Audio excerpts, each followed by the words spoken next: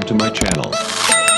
கடந்த மாதத்திலே நாலாம் தேதி அளவிலே சென்னை பகுதியிலே நான்கு மாவட்டங்களிலே மிகப்பெரிய புயல் பாதிப்பு மிக்ஸா என்று மிக்சம் என்று சொல்லக்கூடிய புயல் பாதிப்பு அதை போன்றே தமிழ்நாட்டினுடைய தென்பகுதியில் இருக்கக்கூடிய நெல்லை மாவட்டம் உள்ளடக்கிய நாலு மாவட்டங்களிலே மேலடுக்கு சுழற்சி முறையின் காரணமாக மிகப்பெரிய வெள்ள பாதிப்பு வரலாறு காணாத நூறு ஆண்டுகள் இல்லாத அளவிற்கு தொண்ணூறு சென்டிமீட்டர் அளவிற்கு உலகத்திலேயே மிக அதிகமான மழை பெய்யக்கூடிய சிரபுஞ்சி என்ற இடத்தில் கூட ஒரு நாளைக்கு நூற்றி மூன்று சென்டிமீட்டர் தான் மழை பெய்யும்.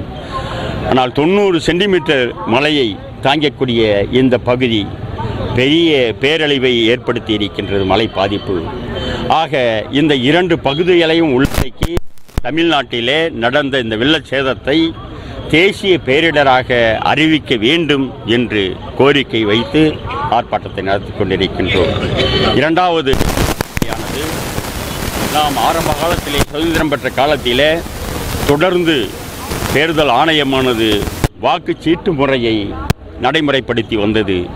ஆனால் மக்களுடைய எண்ணிக்கை அதிகரிக்க அதிகரிக்க இந்த போலி அரசியல்வாதிகளும் சூழ்ச்சி அரசியல்வாதிகளும் ஓட்டு எந்திரத்தை மின்னணு ஓட்டு எந்திரத்தை கொண்டு வந்தால்தான் சீக்கிரமாக தேர்தலை முடிக்க முடியும் என்று சொல்லி இந்த ஓட்டு எந்திரத்தை கொண்டு வந்து இன்றைக்கு ஊழல் செய்து கொண்டிருக்கின்றார்கள்.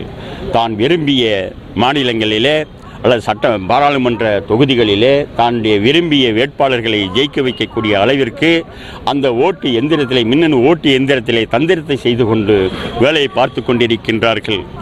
அந்த ஆணையத்தைவே தேர்தல் ஆணையத்தைவே கூட இந்த அரசு இந்த மோடி ஜனாதன அரசு மாற்றி அமைத்திருக்கின்றது உச்சநீதிமன்றத்தினுடைய தலைமை நீதிபதி அந்த தேர்தல் ஆணையத்தினுடைய உறுப்பினராக இருந்தார். எல்லா தவறுகளையும் கண்டித்தார்.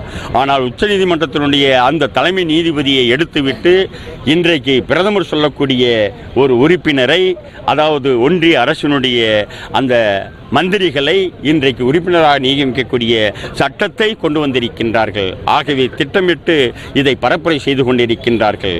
அவர்களுடைய நோக்கம் திட்டமெல்லாம் வரக்கூடிய ரெண்டாயிரத்தி நாற்பத்தி ஏழு அந்த ஆண்டு வரை இந்த ஜனாதன பாசிச ஜனதா ஆட்சி நடக்க வேண்டும்.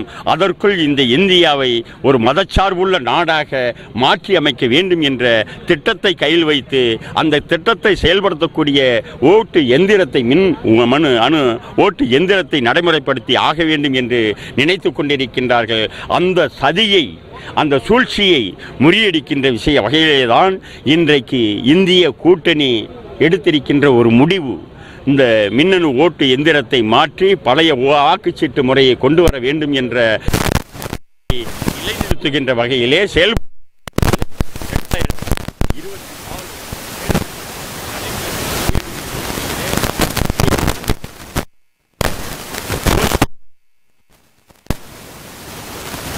இந்த போராட்டத்தை நடத்தி இருக்கின்றது. அந்த அடிப்படையிலே என்னுடைய தலைவர் எங்களுடைய தலைவர் கட்சியினுடைய தலைவர் எழுச்சி தமிழர் சென்னையிலே பெருந்திரல் ஆர்ப்பாட்டத்திலே இன்றைக்கு கலந்து கொண்டிருக்கின்றார்கள். எம்எல்ஏக்களும் எம்பிக்களும் மற்ற பொறுப்பாளர்களும் அந்தந்த மாவட்டங்களிலே இருக்கக்கூடிய நாற்பது மாவட்டங்களிலே இந்த ஆர்ப்பாட்டத்தை நாங்கள் நடத்தி கொண்டிருக்கின்றோம். எனவே நிச்சயமாக உறுதியாக வரக்கூடிய தேர்தலிலே மின்னணு வாக்கு எந்திரத்தை மாற்றி ஓட்டுச்சீட்டு முறையை கொண்டு வர வேண்டும் என்ற நிலையை நாங்கள் இங்கே முன்வைத்திருக்கின்றோம். அதே போன்று தமிழ்நாட்டில்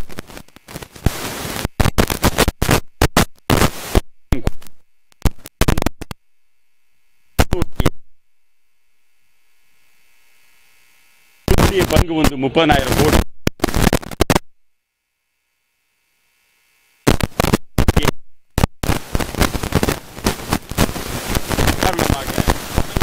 இதற்கு மேலே முடியாது என்று